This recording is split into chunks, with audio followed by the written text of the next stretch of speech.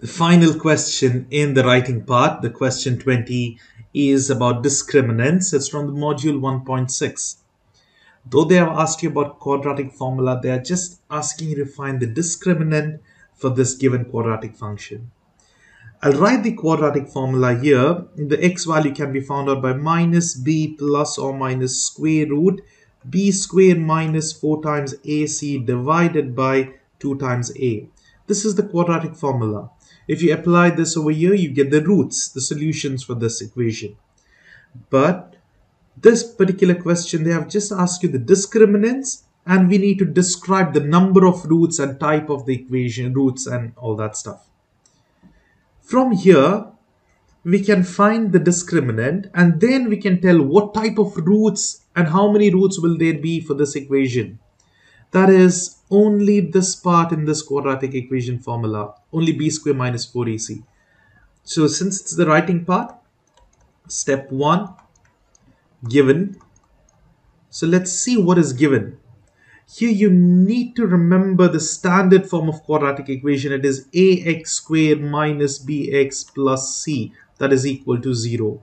If you press mode phi and 3 is, uh, don't press 3. If you just press mode phi in your calculator, let me show you here.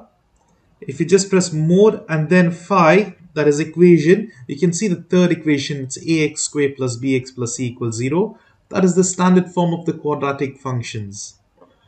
From here, you can see what is a value. If there's nothing, it's 1, isn't it? Given a equals 1. What about b value?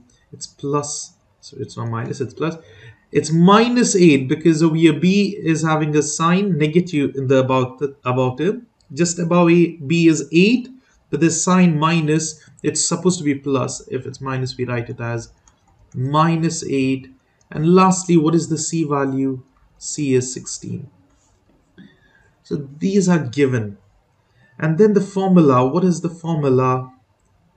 Discriminant formula is given by b square minus 4 times ac. This is whatever is inside in the quadratic uh, formula. That square root inside the square root. This is the thing. Now what we need to do is step 2, find the discriminant. Step 2, discriminant. It will be given in the question. You can just copy it from there if you cannot remember the spelling exactly, you can write find discriminant. And then let's find it. Substitute over here. B is minus 8 the whole squared minus 4 times. What is A? It's 1. C is 16. You can just put this in the calculator and you'll get the answer. It's 64 minus 64. 0 basically over here. Because 8 squared is 64 minus 16 times 4 is 30, 64 as well. So you got 0 as the answer. So whenever there is 0 in the discriminant, you will have only one root. And we can prove this using calculator. Let's press 3 over here. That is the quadratic equation, mod phi 3. And let's type in the coefficients. It's 1, A is 1. We have B value of minus 8. And lastly, C is 16 and you can see there's only x that is only one solution over here. And imagine let's just change this value to say 2 you would have x1 this is complex root which is not real numbers. X1 and x2 generally you'll have two roots x1 and x2 but over here you can see it's only one root so it's only x. So this step 3 you need to write about the roots. See it's not only finding the discriminant, you need to tell how many roots and all are there, right? And what type of roots. So step three is, how many roots are there? There is roots, you can write like this. Roots means solution is equal to one type of roots. It's rational, rational. And that's it. The discriminant answer is up above. It's 0. Discriminant is 0. So that will be the final answer. Discriminant is 0. Number of roots. You can write number of roots here, not just roots. Step 3. Number of roots.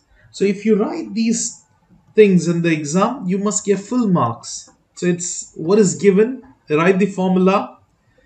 discriminant that is what you're solving use the formula substitute the values you'll get the answer for the discriminant then write number of roots that's one and from solving over here as well in the calculator you can get that and type of root. It's rational numbers right? So it's rational. Now whenever you have a perfect square imagine over here it was 4 or 25 or um, 36 all 6 square is 36 so if you have 36 or 49 it'll be rational roots. Whereas any numbers other than perfect squares would be irrational roots. And if it's negative number in the discriminant it's complex roots. So only when it's 0, it'll be rational and it's only 1. So here let's look into some other problems. What about this one? I'm going to write quickly. I'm not going to write in details. I'm not going to write steps and everything. I'll just write this ABC, formula, substitution and the final answer only. So here you can see the A value is 1, B value is minus 11 and C value is minus 26. So the formula is b squared minus 4 times ac. It is minus 11 the whole squared minus 4 times a is 1, c is minus 26. So here we have my uh, minus 11 square it'll be 121 and over here 4 times 26 100 plus 4 is 104 that is subtracted and when you subtract this you'll get 117 so yeah I hope this is correct. You can just use your calculator. Now discriminant is done. What is the final answer? There will be two roots and they're irrational. Why? Because it is not a perfect square. Now, I did a mistake. I, you know, there's minus and minus, it's plus. I just realized that now the answer is wrong, what I had written. It's plus 225 225 is a perfect square. You can take the square root, it's 15, right? So it's a rational. Over here, it's a rational. Two roots which are rational. You can do it over here. So, yes, that's correct answer. Let me show you. Square root 2 to 5 will be 15. And if you just press mode 5 and 3, and now type the given question 1, minus 11, minus 26 you can see the answers are 13 and minus 2 those are the two roots and they are rational. Why? Because they're whole numbers rational numbers. Similarly try the others. You can just check it in your calculator first. 3 there is x term minus 2 but there's no constant term so we take it as 0 we have x1 as 2 thirds and x2 is 0 now here this is a fraction. That means it's rational number. Even this one is rational roots. So that means it'll be a perfect square Let's quickly solve this one. It's going to be 2 and rational. That's the same thing. But this is going to change here. And also, we will have different ABC values. So that's the only thing that will change. A value is 3 minus 2 0. So substitute over here minus 2 the whole squared times 4 times 3 times 0. So it's only 4, isn't it? The this is not required but because it's 2 squared over here 0 is there'll be 0 it's 2 unrational roots. That is what they want. And similarly you can solve the others. You can use your calculator but you need to do the steps no matter what. Mod 5 3 to use the calculator it'll be 20 7 and minus 3 and here we go. It's again rational roots. So we have two rational roots because we're getting fractions so here it'll be 7 uh, b squared that is 7 squared minus 4 times a is 20 and c is minus 3 so it's going to be 49 plus 80 80 times 3 uh, you can just do it like 4 times 3 is 12 12 20 will be 240 here. 2 over here it's 289 yes 289 is 17 right? I hope it's 17 so that is a perfect square, so it's rational roots. And please do try the others. They're all same. I'm going to solve it, but now you can stop the video and you can try solving these by yourselves rather than watching the video now. It's 5x squared. So what is the a value? a value is 5. There is no b value because there is no x term. It's 0. And what is the c value? It's minus 6. The formula is minus b squared minus 4 times ac. It's 0 squared minus 4 times 5 times minus 6. So here we have 20, 20 times 6 is uh, positive 120 when you put this in calculator. And this is not a perfect square. So it's irrational roots. Now if you solve this up over here, mode phi 3, you will have phi 0 and minus 6 and look at the answers. They are irrational square root. They are irrational numbers. So those are the two roots and you have two roots they are irrational. Let's do this one. It will be 0 square minus 4 times 1 times minus 6 so 6 times 4 is 24 it's gonna be it's gonna be positive 24 yes. Again it's two roots irrational. And you can double check in your calculator by mod phi 3 it's 1 0 minus 6 the answer is square root 6 and negative square root 6 they are irrational. What about this one? Mod phi 3 it is 1 that is a value.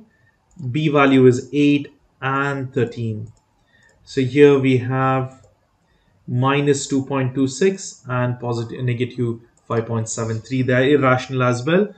You can easily check this out. 8 square minus 4 times 1 times 13 so here 26 50 52 and it's 64 so we have 12 so discriminant is 12 so it's not a perfect square and yes that's why it's irrational roots what about this one here?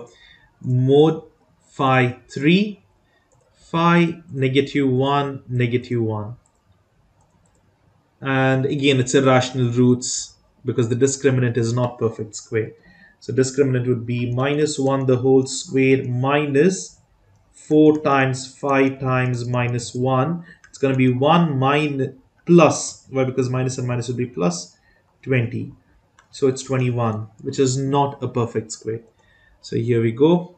You need to do the steps which I did it for the first problem. You can go back in the video, check the, the detailed steps and please follow that. What about this one?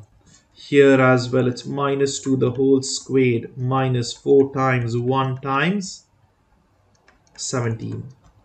So it's 17 twos are 64, 60, uh, 34, 68, negative, sorry, it's minus 17, it's positive 68, and over here we have 4 that's going to be 72 so this is again irrational roots and there are two mod phi 3 1 minus 2 and minus 17 is irrational roots as you can see these are these numbers keep on going until infinity that's why they are irrational now, what about this? Now, this is an imaginary number. Looking at this, I can say when it goes to the other side, it'll be 49, negative 49, and square root of negative numbers is complex. Here, we can consider 1.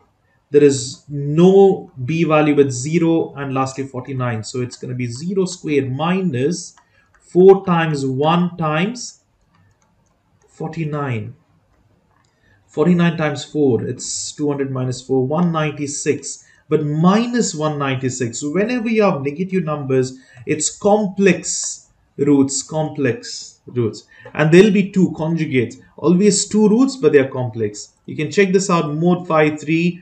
It's 1, 0, and 49. It's 7i minus 7i. So they're complex roots. They're not asking you exactly what roots are they. You can check it out in the calculator but what they want exactly is what type of roots and the discriminant. Here, let's look at this one. Even this is going to be complex, I believe. Uh, it's mod phi 3, 1, minus 1, and lastly 1.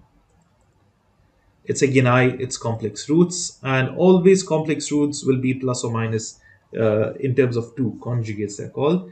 It's minus 1 the whole square minus 4 times 1 times 1 and yes it's all negative so it's 1 minus 4 it's negative 3 so that is the discriminant value.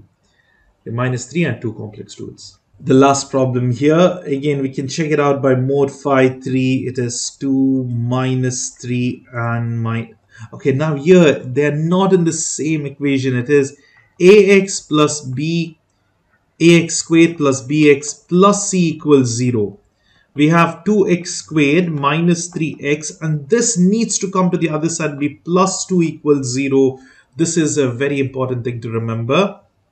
Write it in the standard form. That is a that is an important step in this problem. Now we can check it out over here. Positive 2 see it is complex numbers. Whereas if we change this to minus 2 look over here you're getting rational roots it's entirely different answers so please be careful with this just one sign changed the entire roots completely so it is complex roots over here Let's solve it up. Minus 3 the whole square minus 4 times 2 times 2. It's going to be minus 16 here and positive 19. So we will have 6, 7, minus 7.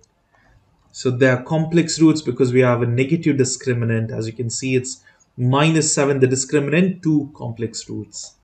And that is the end of all the writing part questions. I hope you have found these videos helpful and beneficial.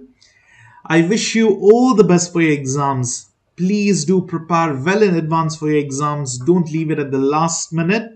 And if you have any doubts, please try rewatching the video or ask your questions in the comments and I'll try to get back to you very soon. And thank you very much for your support for my channel. I'm really humbled by all the appreciation and thanks I receive on the channel.